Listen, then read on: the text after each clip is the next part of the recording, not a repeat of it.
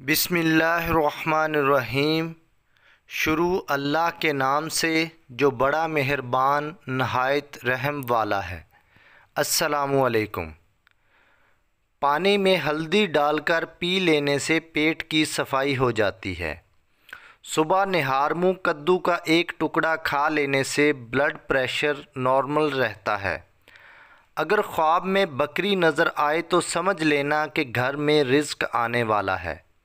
बच्चों का कद छोटा हो तो उन्हें रोज़ाना सागुदाना ऊँटनी के दूध में पकाकर खिलाएँ। चिड़िया का जूटा खाना खाने से कभी कैंसर नहीं होता। माल्टे ज़्यादा खाया करो, ये दांतों की सफ़ाई में बहुत मुफीद होते हैं। देसी घी और अदरक का रस मिलाकर पी लो, कमर का दर्द ठीक हो जाएगा। मुल्तानी मिट्टी घर में रख लो, मकड़ी जाला नहीं बनाएगी। ज़्यादा कोल्ड ड्रिंक के इस्तेमाल से गुर्दे जल्दी ख़राब हो जाते हैं। जली हुई जगह पर अंडे की सफ़ेदी लगा लो, छाले नहीं बनेंगे। रोज़ाना एक लीमू का रस पी लिया करो, मोटापा आपसे दूर रहेगा। नज़ला हो जाए तो हरी प्याज की खुशबू सूंघो, नज़ला ज़ुकाम ख़त्म हो जाएगा। सौ साल तक जवान और तवाना रहना चाहते हो तो रात को इसब गोल का छिलका दूध में डालकर पिया करो। गन्ने का रस दोपहर को पी लिया करो, इससे आपकी आँखों में कशिश आती है।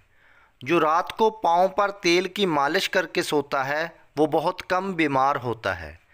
ज़्यादा आम का जूस पीने से यूरिक एसिड की बीमारी हो जाती है। घर में जो चीज़ें लकड़ी की बनी हों, उनकी सफ़ाई के लिए नमकीन पानी का इस्तेमाल करें। जहनी थकावट के लिए गोश्त की जगह सलाद खाओ जहनी सुकून हासिल होना शुरू हो जाएगा। खाना खाने के बाद पानी ना पीने से इंसान की जवानी तादेर कायम रहती है। अगर काकरोच या चींटियों से परेशान हैं तो अपने फ़र्श पर चाक से लकीरें खींच दें। कीड़े नहीं आएँगे।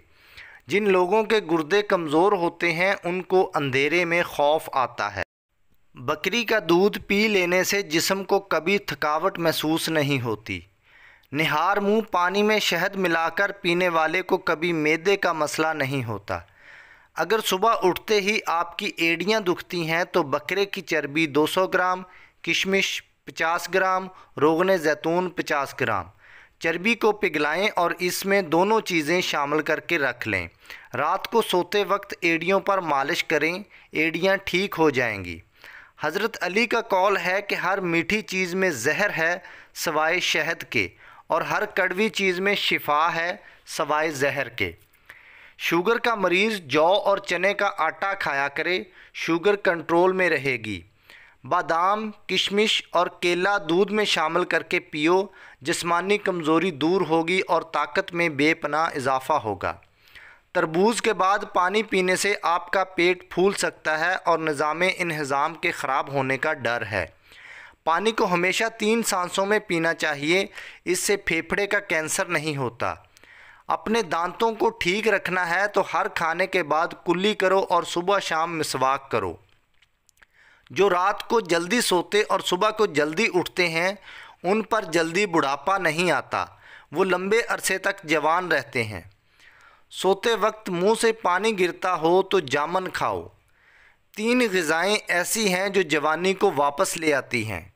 मछली, दलिया और खुश्क मेवाजात सबसे बड़ा और बेहतर काम वो है जो इल्म को इस्तेमाल करते हुए सर अंजाम दिया जाए।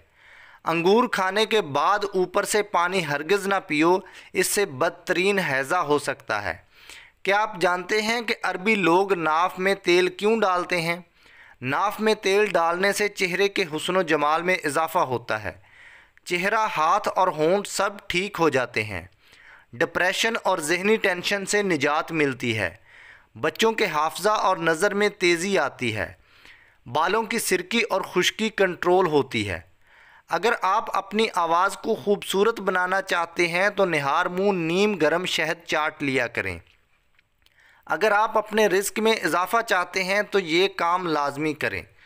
सुबह उठते ही परिंदों के लिए छत वगैरह पर ताज़ा पानी का अहतमाम करें। टूटी हुई कंगी से बाल मत संवारें। कोई फ़कीर दरवाज़े पर आ जाए तो उसे खाली हाथ मत लौटाएँ। घर में बकरी लाएँ और उसकी खिदमत करें। हमेशा के लिए खांसी ख़त्म करना चाहते हो तो शहद में काली मिर्च डालकर चाट लो। हफ़्ते में एक बार आड़ू ज़रूर खाया करें, जोड़ों का दर्द रुक जाएगा। दिमाग तेज़ करना है तो बकरे के सर वाला गोश्त खाया करो। अगर चेहरे को खूबसूरत बनाना है तो बादाम का तेल चेहरे पर लगाया करो। अगर दिल की बीमारी से बचना है तो नाश्ते में प्याज का इस्तेमाल ज़रूर करें। हमेशा पाँच किस्म के लोगों की सोहबत में रहो। पुरजोश, खुले जहन वाले, हौसला अफजाई करने वाले, शुक्रगुजार पुरमाद कभी टेक लगाकर मत खाओ। इससे सांस की बीमारी होने का खदशा है। ऐसे अफराद जिन में खून की कमी हो, वो बैंगन का सालन ज़्यादा खाया करें। चेहरे पर दाग धब्बे और दानों से बचना है तो करेले का पानी पी लो, चेहरा साफ़ हो जाएगा। जजाकमल्ला खैरा।